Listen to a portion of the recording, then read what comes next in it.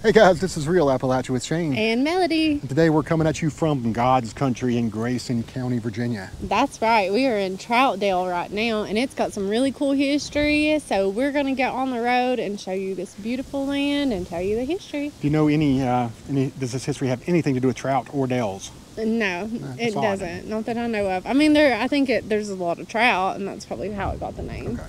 But anyways, if you guys like this video, give us a thumbs up, subscribe to our channel. You know the drill. We do, and I just did a little circular to show that little building behind us Yes. it in. It's an old store, or old hotel, or something. I don't know. It's really cool. Let's get on the road and show some oranges. All right. Well, we're out here in no man's land when we have no access to cell phone service or people to tell us what this was, but it kind of looks like an old store or old hotel or something, doesn't it? It does, and Troutdale actually did at one time have a hotel. Okay. So I it very well. It actually had a couple of hotels. Really? So it could have been that. My mom says she thinks it was a store maybe back in the day, and it could have went from a hotel to a store. So Or it could have been a saloon. We don't know. We're going to get on the road though. But yeah, let's go show some other stuff. Alrighty, so we pulled up the road just a tiny bit to show you a little bit more Troutdale, including the Welcome to Troutdale sign.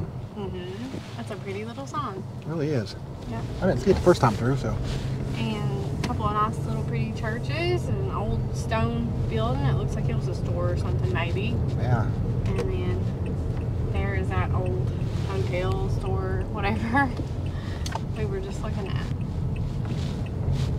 So, if you could see on that Troutdale sign back there, it said it's the highest elevation incorporated town in Virginia. How cool is that? That is very cool. And Troutdale is actually an incorporated town in Grayson County. Population was 140 at the 2020 census. 140. hmm We could probably so- count them all on our drive right now, couldn't Yeah, and we just passed a little post office, little bank. And you see these little buildings that looks like they were stores, and unfortunately they're not. They are they are vacant right now. There's I was fire department. Yeah. I was floored. Let me turn over to that because I don't think the video picked it up. Yeah, it's a nice little fire department. Yes. And they actually have a uh, Troutdale Days, the second Saturday of August every year, with a parade and contest, food and that kind of thing. And the fire department actually sponsors that. How cool. Ain't that cool? Uh, you, you said this had a pretty good population at one time, didn't you? It did. It was 2,800. That blows me away. 2,800. at one point, it was considered a boom town.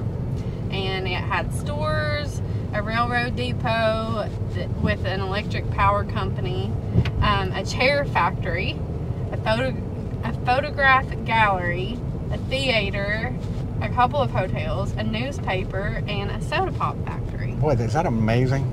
I know. I mean, and that explains a lot of these buildings do uh, don't look like homes. They look like old businesses of some sort. Yeah.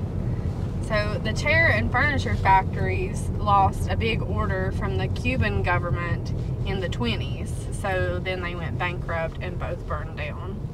So that kind of hurt the population and everything there, I'm sure. Yeah. Anytime you lose a factory. It's always a start of a downward spiral, it seems like. Mm-hmm. And then um, that place is beautiful right there. Couldn't really see it, but a lot of old farmhouses and a couple of them have ponds like that one back there. But by 1925, um, the land around Troutdale was also timbered out and the lumber companies closed. So, not getting a lot on the drive that we are seeing, unfortunately. But there's a lot of Christmas tree farms out through here too. Yeah. But you are seeing the fall foliage, so hmm that's something to be excited about anyway, right? Yep. And so there, there was a railway company here in Troutdale, um, and it connected with the main railroad line in Marion. But they were actually out of business and pulled up the tracks in 1943. So lost a lot of industry and now a population of 140, but it is so peaceful out here. Um, the town was actually chartered in 1906 and it still is a town with a council and a mayor. Wow. I did not know that. the town limit is a circle of one mile, a one mile radius. And in 1930, Carrie Wright was elected as mayor, and she was possibly the first female mayor in all of Virginia. How cool is that? That is cool. Mm-hmm. So, also, um, Sherwood Anderson lived out here, and he spent his later years out here, especially in the summertime. Ripshin Farm, and it is a National Historic Landmark, and we're going to do a special little video about it separately because It deserves its own video, it yeah. deserves its own video. It is so gorgeous. Trust us on that. You'll want to check that out. Yep.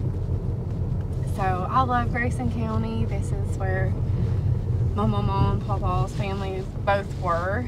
And actually on the road um, where Ripshin Farm is, is you can get to my family cemetery what we call the old home place. It's not there anymore, but you know, a little clearing where the house was. So it's really special to us. And it's just so beautiful.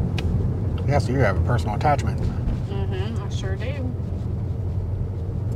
So the town has an elevation of 3,300 feet, and it is the highest incorporated town in Virginia, just like the Hassan said. The town has no taxes, so that's a plus.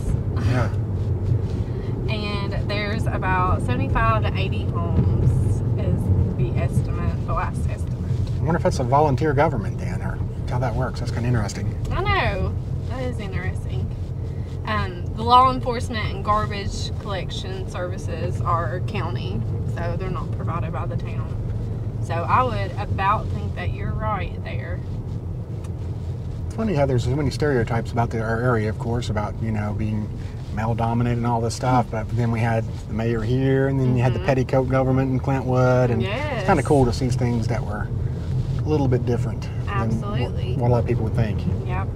And a lot of times there's stereotypes in the South and in our area about, you know, racism. And a lot of times it's the same way. You know, everybody was kind of the blue collar workers and everybody were more like equals.